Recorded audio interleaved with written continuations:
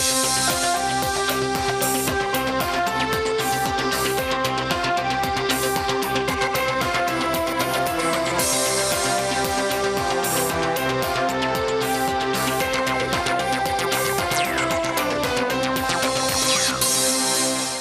Вітання всім глядачам телеканалу Київ, каналу Європейського міста. Ми продовжуємо програму Столиця. Стартує другий наш блок, і в ньому ми продовжимо обговорювати наслідки енергетичної блокади. Зокрема, будемо з'ясовувати, що ж блокада показала українську незалежність чи ж навпаки українську залежність від енергоресурсу. Яка собівартість українського вугілля? За що і скільки ми з вами платимо? Також е, будемо намагатися з'ясувати, як Україні вибратися з цієї енергетичної ями, які існують шляхи і кроки, які потрібно зробити. Також е, ось е, Георгій Тука наголошує, що торгівля вугіллям з окупантами не ведеться. А тоді ж як, з ким і звідки до нас е, потрапляє антрацит? Як завжди, у студії програми Столиця завжди поважні та фахові гості. Сьогодні це Андрій Чубик, виконавчий директор центру глобалістики Стратегія 21 Пане Андрію, доброго вечора. Радий вас вітати. Доброго вечора. Глядачам нагадаю телефон 223 09 71. Долучайтеся до розмови, ставте власні запитання. Традиційно знаєте, що можете висловлювати і свої думки. Тож ми чекаємо на ваші дзвінки. Будьте активними, можете телефонувати вже зараз. Отже. е, Почнемо з обговорення, що ж е, дала блокада Донбасу, і що вона показала українську незалежність чи все ж таки залежність, пане Андрію. Як ви гадаєте, е, ось ця ситуація, е, чому вона розгорілася, так би мовити, зараз? Е, ось бачили сьогодні вже і мітинг біля Верховної Ради, і невдоволення людей наростає, е, так як з'являється якась нова додаткова інформація, коли людям починають пояснювати, в чому ж суть. Хотілося почути вашу думку стосовно цієї блокади і її доцільності насамперед. Акт, акт блокади для мене є визначальним таким чинником відчаю людей, які не бачать е, законних е, можливостей, інструментів достукатися до е, влади, достукатися до уряду, достукатися до президента і сказати, що не дають ефекту ті кроки, які зробили за останні три роки. Навпаки, е, ще в 2014 році е, дуже чітко постала про- проблема того, що е, через стабілізацію на той час, умовну стабілізацію зони розмежування, е, частина Донецької і Луганської областей якраз залишилася в руках терористів і російських окупаційних сил, е, саме е, сконцентрована на антрацитній групі вугілля, яка добувалася і всі роки незалежності України транспортувалася на декілька електростанцій по е, значній території України. Відразу було зрозуміло, що цим будуть користатися, і, і це е, були практично перші кроки після того, коли стало зрозуміло, що в газовому секторі війна не вдасться. Ми зможемо опиратися і за допомогою реверсу, який дуже активно нарощувався, зможемо протистояти цьому тиску, який фактично успішно був апробований у 2006 і, і в 2009 році. Тобто, фактично, ан- антрацит став ось цією козирною картою, яка просто чекала е, свого часу, і цей час настав, можна так сказати. Е, З моєї точки зору, і це підтверджують наші дослідження, е, цей фактор е, став фактично головним козиром в руках на той час, прямо скажемо, Кремля, який керував і маріонетками в окупованих територіях Донбасу. Вони дуже швидко зорієнтувалися, що він є дуже важливим.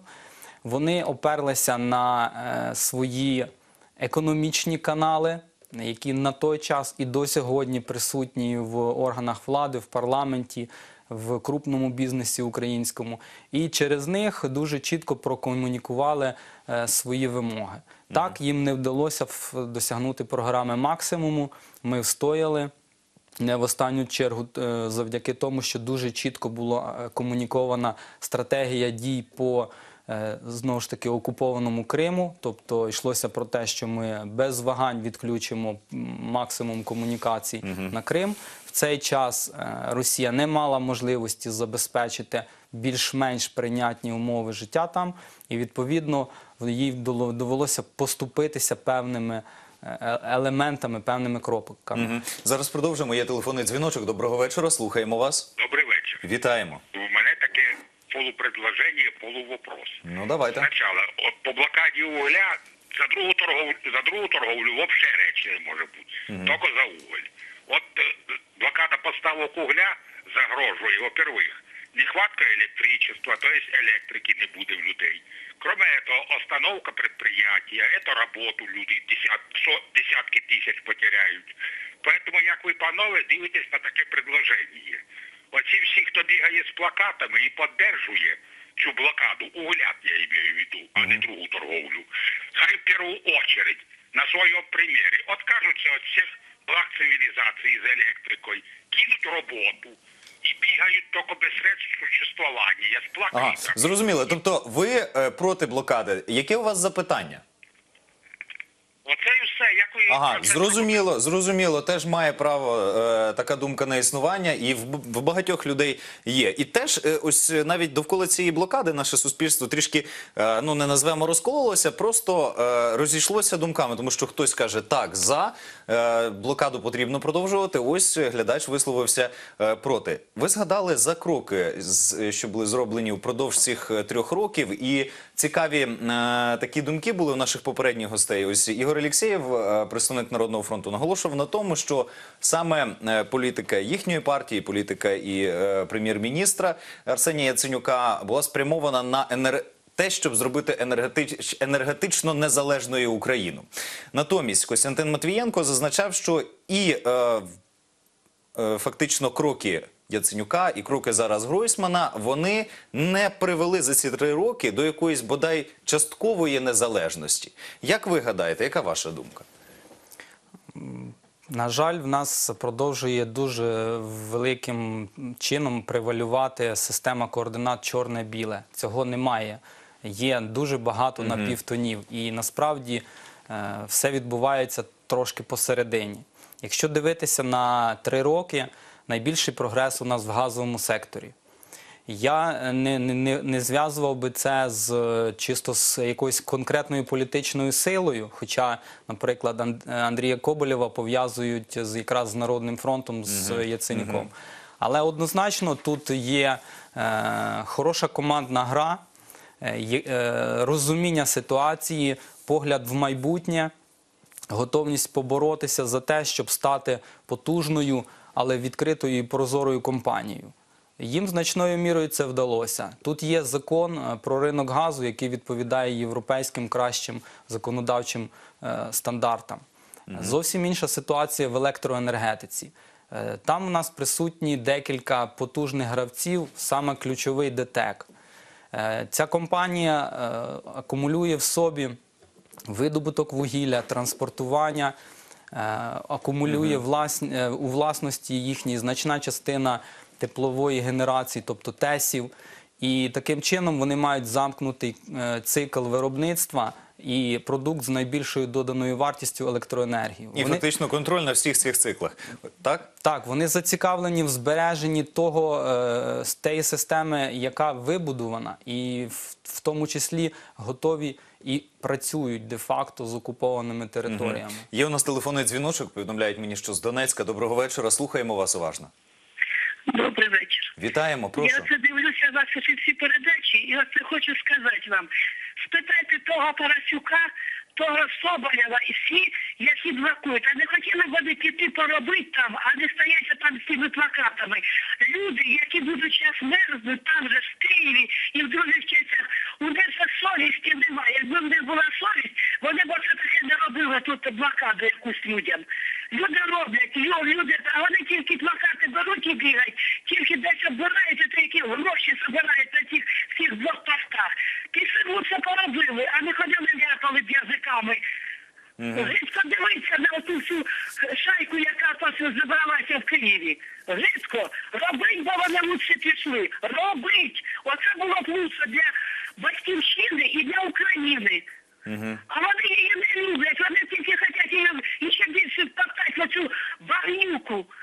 А самі бігають, хай йдуть роблять, роблять, а не заробляють гроші на тих бідних людях, де стоять вони на тих постах всіх. Мгм.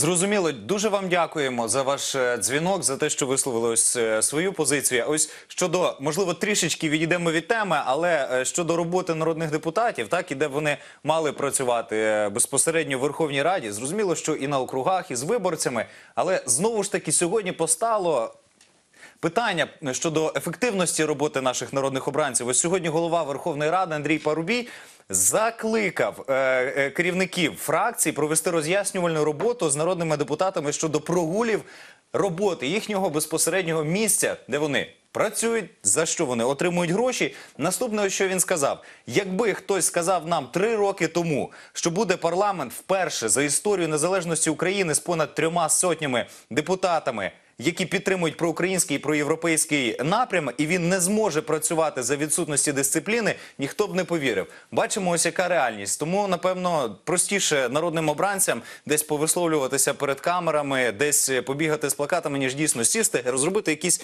е, відповідні законопроекти, так щоб, наприклад, якщо ми беремо е, продовжуємо обурювати тему, щоб унеможливити е, такі схожі блокади, схожі схожі залежності, енергозалежності для України. На жаль, доводиться е, е, констатувати, що парламент у нас е, часто буває абсолютно неконструктивним. Як мінімум, необхідно згадати дві ініціативи, які провалені за участі парламенту. Перша з них це голосування за спрощення податкового навантаження на газовидобув... на газовидобувну сферу. Це було практично перед Новим роком, коли не підтримали законодавчу ініціативу про встановлення єдиної бази податкової на нові свердловини. Е, е, Уряд говорить і е, підготував програму нарощування газовидобутку. Одним з важливих елементів розглядали е, оце спрощення е, податкового е, законодавства, але через парламент він не пройшов не дивлячись на те, що в комітетах пообговорювали, попередньо були рішення, але в практично останній момент е, вони були заблоковані. І сьогодні ще одна негативна е, історія: це е, не вистачило двох голосів для того, щоб провести закон про прозорість у видобувних галузях. Це є стандарт, який вітається і підтримується провідними країнами світу. Це над, над, над, над цим стандартом Україна вже працює багато років. Ще його в 9-му році ініціювала. Ми вже сьогодні презентували е, разом з урядом і з компаніями, тобто бізнес і уряд. е, Це, це теж була величезна робота. Презентували другий звіт, який відкриває фактично шлях до повноцінного е, членства України міжнародній ініціативі. Це опосередковано дозволяє покращити інвестиційний рейтинг держави. Але через ось таку позицію депутатів, де більше, дев'ян- е, бі- більше 60 просто проігнорували, вони навіть не натиснули кнопочку і значна частина прогуляли засідання. Це показує, на жаль, е, не зовсім конструктивну позицію нашого законодавчого органу, який, ну, в принципі, достатньо обґрунтовано називають найбільш прозахідним, проєвропейським, прогресивним. Мгм. Ось наступна є інформація. Е, В Україні працює як мінімум 18 шахт, собівартість видобутку вугілля, на яких перевищує вартість закладену в тариф на електроенергію. Відповідну заяву зробив сьогодні міністр енергетики Ігор Насалик. Е, Наводить наступні цифри, що ціна, яка закладається на виробництво електроенергії, становить е, тисячу. 730 гривень. А ось про ці 18 шахт, що він казав, е, тобто вони добувають е, за вищою ціною, так? І, наприклад, ось на шахті Бужанська ця цифра становить 2800 гривень. Хоч хотілося б і про це поговорити, і теж подум- е, послухати думку нашого ще одного експерта. Він доєднується до нас телефоном. Юрій Корольчук, експерт інституту енергетичних стратегій. Пане Юрію, доброго вечора. Раді вас вітати. Е, одразу дякуємо, що знайшли час е, на спілкування. Хотілося б дізнатися від вас вашу думку щодо е, обґрунтованості ось е, зараз ціни на вугілля, е, про цю енергетичну блокаду і ваші думки, ваше бачення, яким чином надалі розвиватиметься ситуація? Добрий вечір, дякую. Е, Ну, е, дійсно, е, треба розуміти, що найперший момент це моральна велика відповідальність, що ми змушені просто в нинішній ситуації не можемо обійтись без поставок вугілля з Донбасу. І вона і ці обсяги нам немає чим замістити. Немає, на жаль, альтернативи. Ці варіанти, які пропонують, пропонують люди, які блокують, вони, на жаль, часто або е, не реалізовані, їх важко реалізувати, або немає коштів достатньо, або на це потрібно навіть не рік, два, три, як навіть сьогодні казав міністр Гройсман, а це потрібні десятиріччя. Стосовно ціни на вугілля, то вона е, дійсно, те, що ви називали у державних шахтах, вона е, фактично становить в середньому десь порядка 2200 гривень, навіть вже більше, це за підсумками минулого року лише. 2200 гривень. Е, Це можна сказати майже 80 е, доларів. Е, І та ціна, за якою навіть продають її тепловим електростанціям, ті шахти, вона не покриває от, власне повну собівартість видобутку. Тобто є різниця, ота приблизно можна так сказати, Мгм. десь 600 гривень, яку держава доплачує у вигляді дотацій. Дотації залишились, завжди вугільна галузь була дотаційна. Частина шахт, безумовно, які, які от, власне везуть вугілля з Донбасу, з неконтрольованих територій, і вони в основному е, належать компанії ДТЕК, це їхні шахти там працюють, вони на свої на свої ж теплові електростанції тут е, на в Україні на контрольованій територіях, так сказати, вони е, тут їх використовують. Так от вони, звичайно, ну, використовують різні методи там оптимізації. Вони, наприклад, і там стараються щось модернізувати, якісь гроші інвестувати, але все одно ті шахти, на які там працюють, вони їхня вартість видобутку, собівартість, вона все одно е, ну от, от в районі знаходиться на межі там 1100 гривень, 1200. Е, Тобто- Скажіть, будь ласка, е, пане Юрію, ось хотілося б дізнатися про е, забезпечення е, України енергоресурсом, тому що е, часто можна почути про віялові відключення. Чи варто їх чекати найближчим часом? І наскільки, якщо говорити про режими економії, е, їхнє запровадження зараз е, чи це питання стоїть гостро, і чого чекати пересічним е, громадянам? Ну я думаю, що зараз та ситуація, яка склалася, вона знаєте більше вже нагадує, знаєте, опікшись на гарячому, дмухаємо на холодне. Тобто попередні ці кризи, які були в 14-му, 15-му році, влітку 16-го, ще свіжа криза, коли в нас також були проблеми з поставками вугілля тільки з тих територій, неконтрольованих ввезення. То е, тепер от е, дійсно така ситуація блокади. Е, Вона, звичайно, така, знаєте, така незрозуміла для мене блокада, тому що деякі обсяги поставок йдуть, і вугілля, і інших товарів, деякі не йдуть. Тобто не, не, не, не дуже швидко скорочуються запаси вугілля, але вони скорочуються. І ризики дійсно є. І те, може бути вілові відключення. Якби, якби блокада була дійсно, знаєте, як блокада, тобто закрили би все, то ми б ще два тижні тому назад вже би мали би вілові відключення, вже був би енергодефіцит в системі. Е, І АЕС би також не закривала це питання. Але зважаючи на те, що кажу, вона така незрозуміла блокада, ми якби знаходимося в ситуації, коли е, уряд прийняв рішення таке і запровадити надзвичайний стан. І обмежити використання вугілля на теплових електростанціях, е, фактично ввести ручний режим регулювання енергоринку. Ну тобто дмухають, кажу, на холодне вже Мгм. утікшись колись на гарячому. Пане Але- Юрію, е, так, так. е, Які ви вбачаєте виходи з цієї ситуації, і якими мають бути першочергові кроки уряду, аби таких криз в майбутньому не було, і аби врегулювати ось це питання, що зараз постало досить гостро? Повторюсь того, що почав. Питання моральне, на жаль, дуже важливе. Те, щоб всі е, люди, громадяни України розуміли, що немає поки що альтернативи, чи можна замінити поставки. Тому іншого виходу, як домовлятися, немає. Тому що інакше ми можемо опинитися в ситуації 90-х років е, в Вірменії і Грузії, коли там люди по 8, по 10 годин, по більше сиділи без електроенергії цілими днями, тому що не було ресурсу. Тому можна лише сподіватися, що е, будуть будуть необхідні фінанси у вигляді кредитів, як би це погано не лунало, тому що кредити це найгірший варіант, за яким ми можемо в принципі розвивати або будувати, або модернізувати це дуже таке складне питання теплових електростанцій. Нові теплові електростанції будувати на нові види вугілля.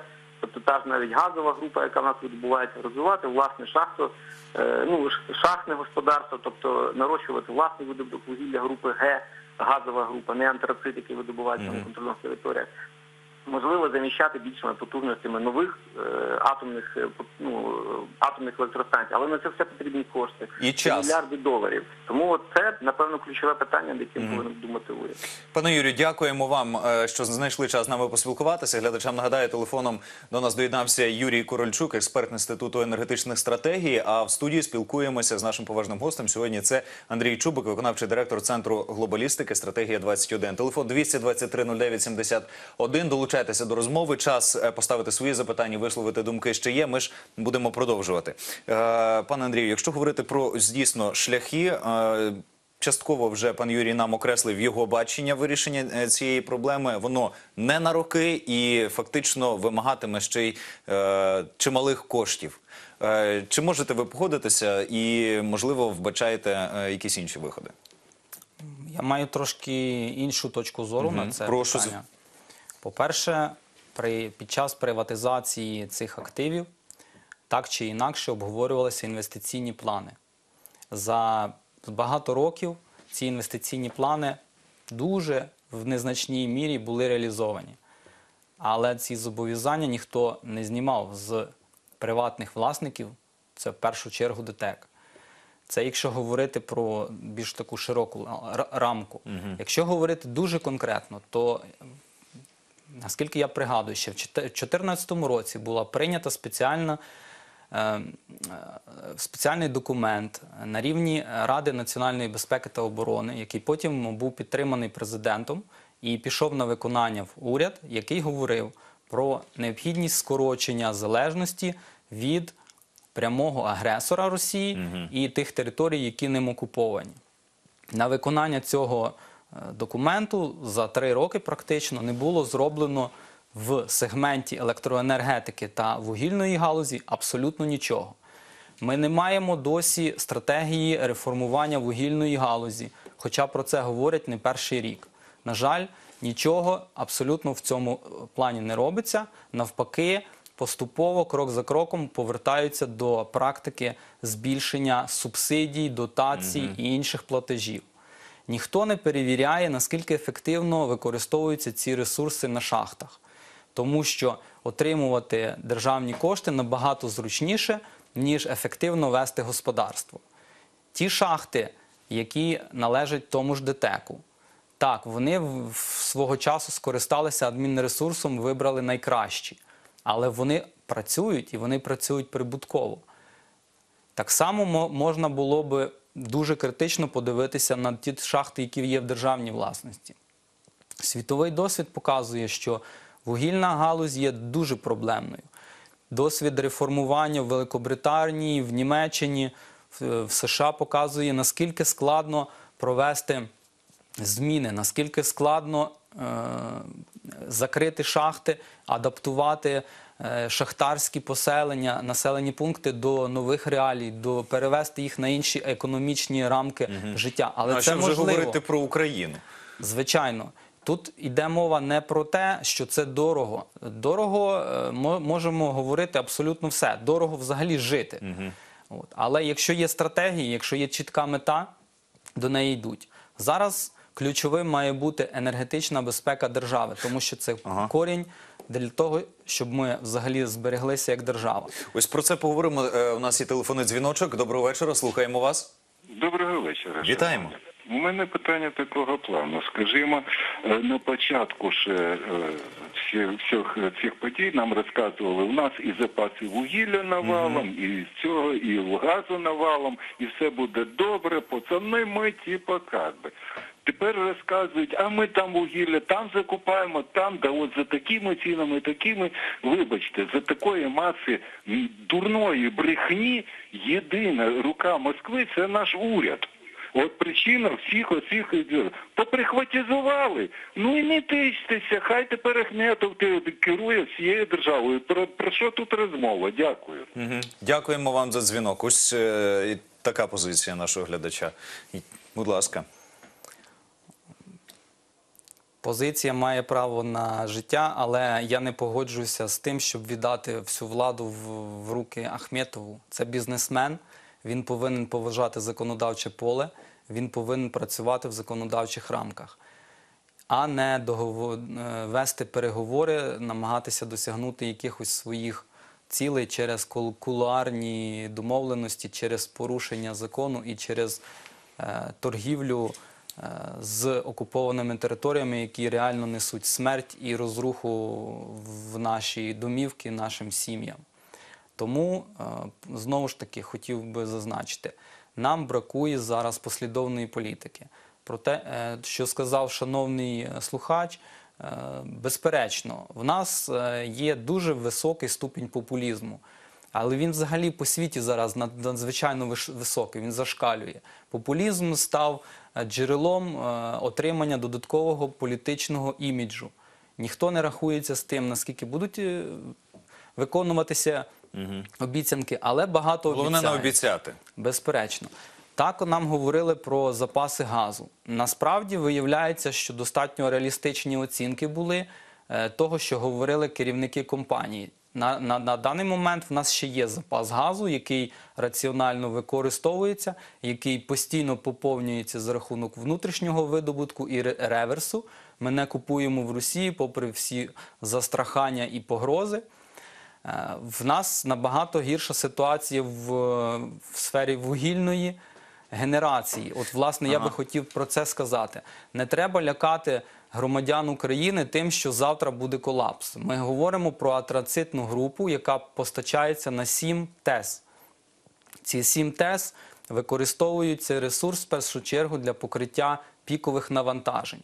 Так, ми можемо постати перед необхідністю віялових відключень, але це не буде критична якась ситуація для держави і для населення. А якщо ось е, змоделювати взагалі ось е, е, цих поставок антрациту не було б, це була б виникла б якась надзвичайна ситуація, чи тих потужностей загальноукраїнських вистачило б, аби е, покрити ось е, цю нестачу?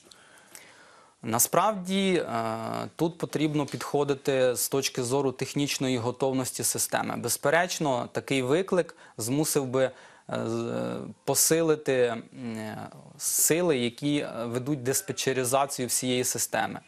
Це означає надзвичайно високий ступінь готовності на реагування в критичних ситуаціях. Але це можливо, так?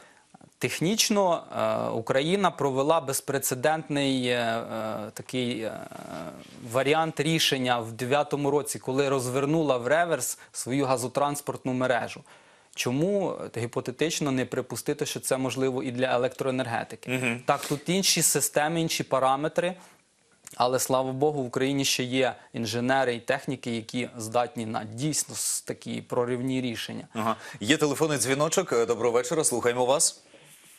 Алло, добрый вечер. Добрий вечір. Прошу, будь ласка. Э, У меня такое, значит, э, моя позиция. Мне 64 года.